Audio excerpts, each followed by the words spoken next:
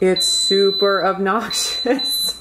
oh man, Instant Pot, why? Why can't you ever get it all completely right? In this video, we're gonna be taking a look at the new Instant Pot Pro. This is a model that just came out that is the top of the line Instant Pot at the moment. I got the eight quart version. There's also a six quart version. And from what I can see, it looks pretty sleek. I'm excited to take it out of the box and give it a try. I'm gonna be comparing this new Instant Pot Pro to some basic Instant Pot models and the features on like the Duos. So those of you looking to upgrade from a more basic model can get an idea if it's worth the money for you.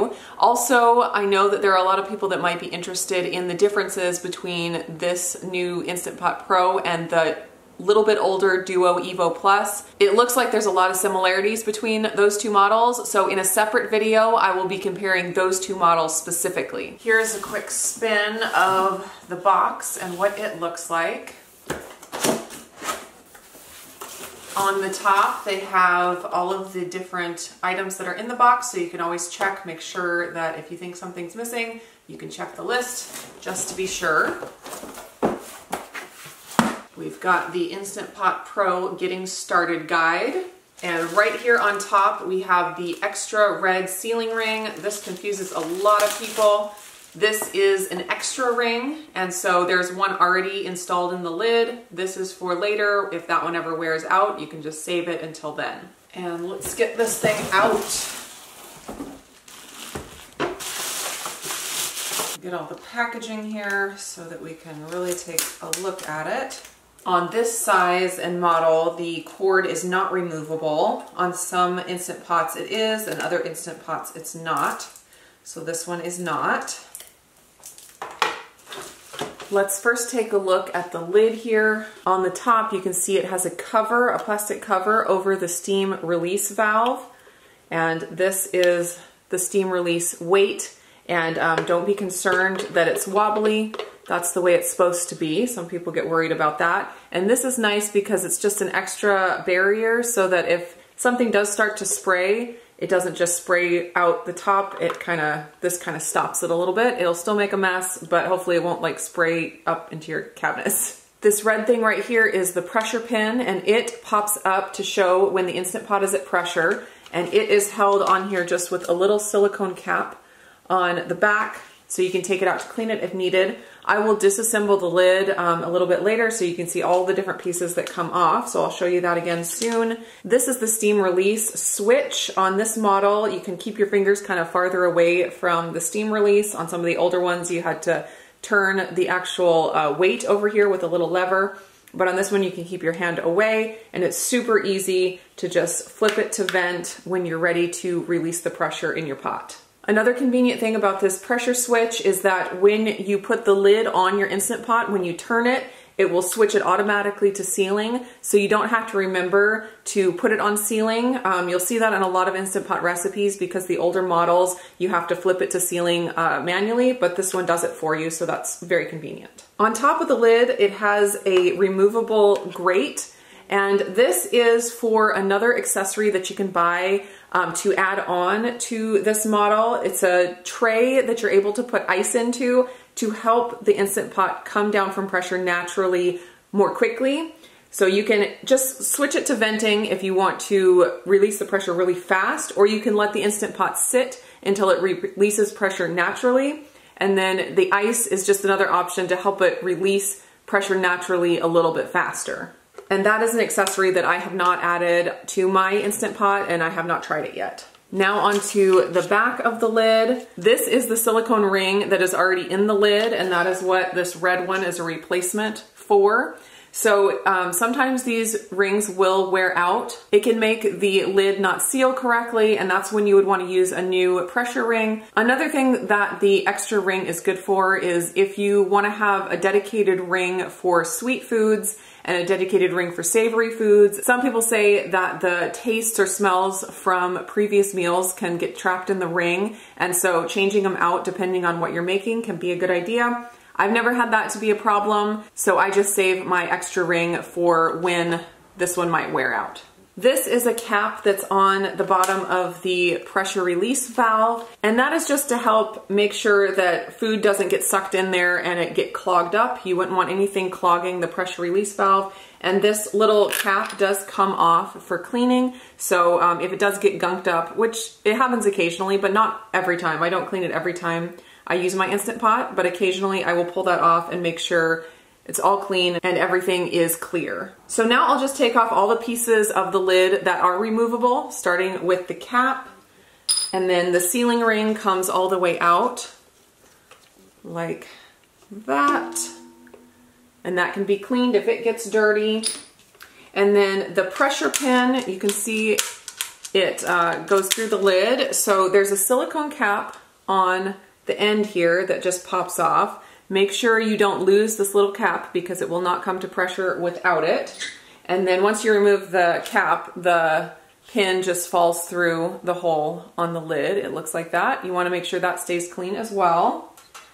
And then the last things that are removable is the little plastic cap over the steam release and the weight, the steam release weight. And the whole lid is dishwasher safe, so you can throw it into the dishwasher on the top rack um, all assembled, or you can disassemble it and wash it that way, but it is completely dishwasher safe. Now to put it all back together, start with the weight on there. Again, if it's wobbly, no big deal. Plastic cap goes right on top. The pressure pin drops right into that little hole. You gotta hold it with your finger to put the cap on or else it'll fall through. The cap just pops on like that. The little metal cap clips on here. And the last thing is just the sealing ring. You just kind of have to feed it around the wire in here and just run your thumb around and get it to pop into place. And the lid is now reassembled. Inside the pot, we have the trivet, and this is just the same kind of trivet that you would get with uh, a different six or eight quart Instant Pot. That's what it looks like. It just has little feet here so you can put water underneath and have whatever you're cooking sitting on top. You use this for certain recipes where you're steaming something or you are doing pot in pot cooking where you'd have another little pot inside your big inner pot.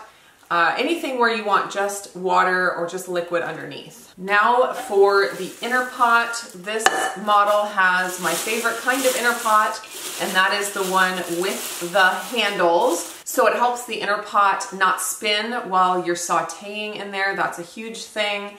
And then also it's super convenient because these inner pots can go onto the stove and just cook like a reg regular pot on the stove. So I have found that I just keep two of these, one in my cabinet and one in my Instant Pot. And these are all I use for uh, my pots on the stove as well as my inner pot and my Instant Pot, which just cuts down on all the things that I need to have in my kitchen. It does double duty. It has quart and liter markings, which is really convenient, as well as the half full line and then the max full line for when you're pressure cooking. Never use the Instant Pot without the stainless steel liner in place. You would never put food directly into the inner pot without the liner. That is gonna ruin your Instant Pot real fast. So always make sure the stainless steel liner is in there. Back here on the back, I'll show you the condensation collector. It's already installed, so you don't have to do that.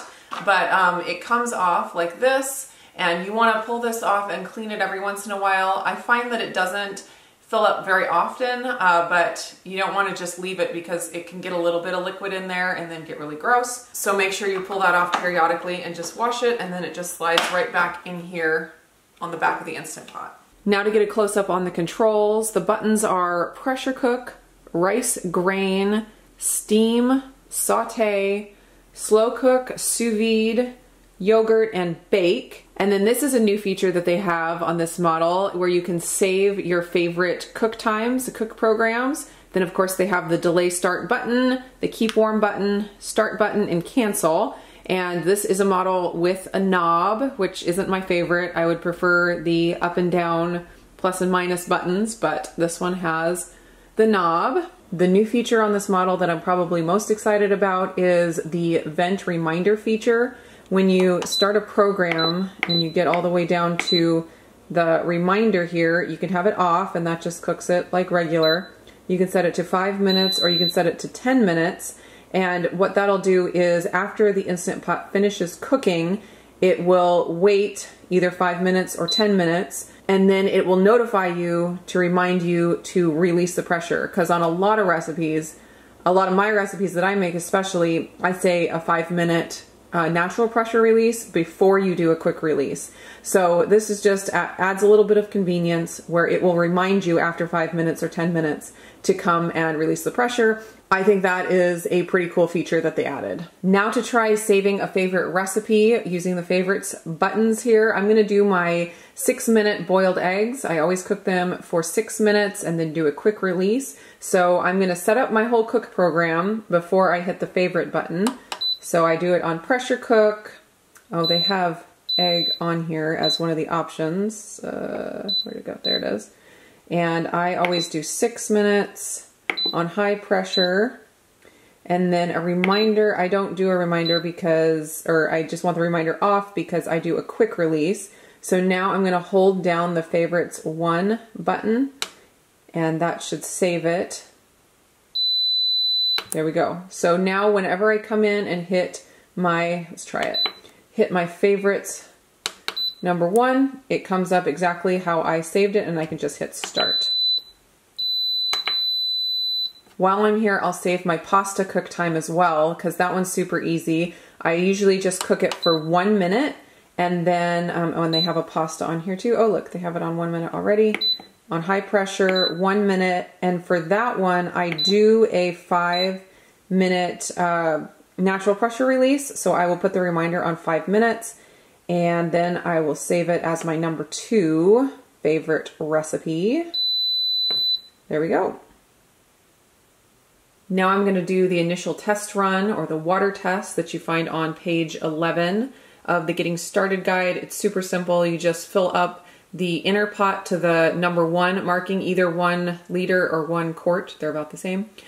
And then you cook it for five minutes on high pressure just to make sure it comes up to pressure correctly and it does everything it's supposed to do. Then you know you're good to go uh, and ready to start cooking. You can see these uh, fins on the lid can fit into the base of the Instant Pot on either side. So that makes it super convenient to keep the lid out of the way while you're cooking. Just adding water up to the number one line, which should be about four cups.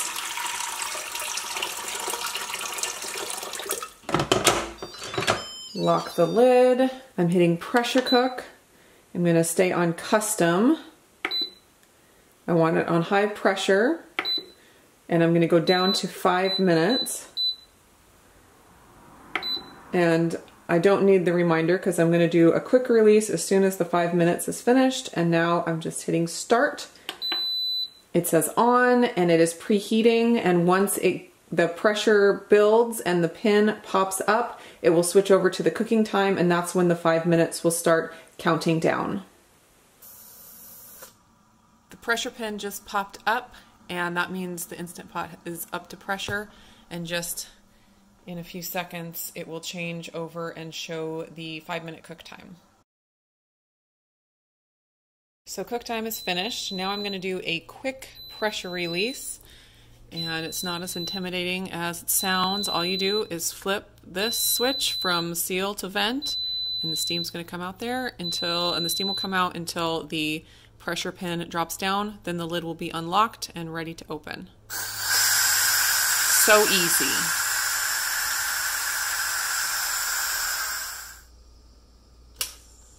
Now the pin is down and my water test is complete and it was a success. Everything worked the way it was supposed to.